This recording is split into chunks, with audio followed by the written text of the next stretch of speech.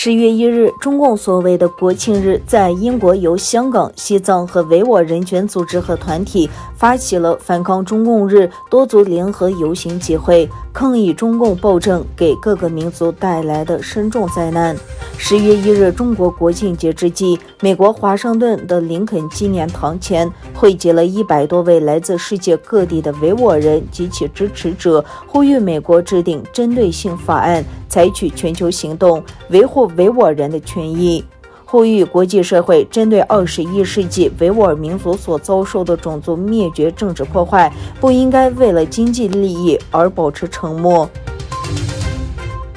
据中央纪委国家监委网站周六消息，全国政协社会和法制委员会副主任、前司法部长薄振华涉嫌严重违纪违法，目前正接受中央纪委国家监委纪律审查和监察调查。两天前，中纪委通报前公安部副部长孙立军遭到双开。突尼斯总统赛义德基于其最新发布的总统令任命拉吉拉布登为新总理，并责成其组建新政府。他指出，任命一位女性总理是对突尼斯妇女的致敬和礼赞，这在突尼斯历史上尚属首次。今年六十三岁的布登是突尼斯国立工程师学院地质工程学领域内的高等教育教授。两个月以来，赛伊德采取了一系列的特殊措施，包括解冻议会权限以及罢免总理职务，并在政府的帮助下行使行政权力。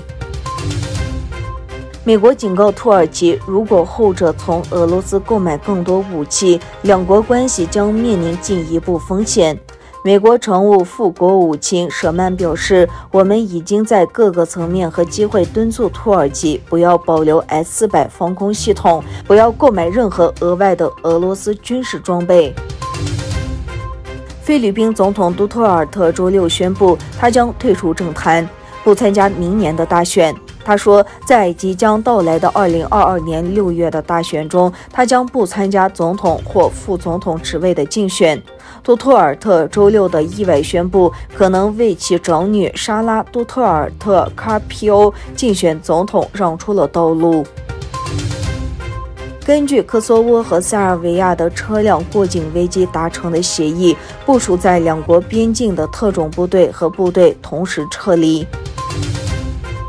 位于厄瓜多尔西南方的瓜亚吉尔的一所监狱发生暴乱，监狱中的黑帮分子使用武器斗殴，造成至少一百一十六人死亡，八十人受伤。事件发生于瓜亚吉尔的海岸监狱，囚犯使用枪支、刀械、手榴弹及炸弹等武器互相攻击。